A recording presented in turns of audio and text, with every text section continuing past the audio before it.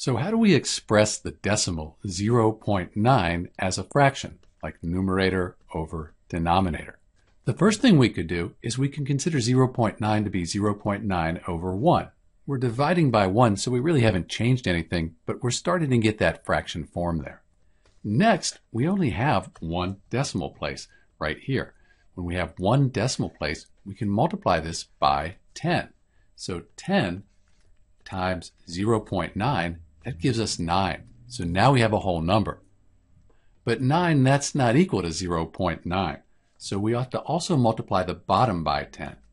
10 over 10, that's just 1. So we're really multiplying by 1. We're not changing the quantity, just the representation.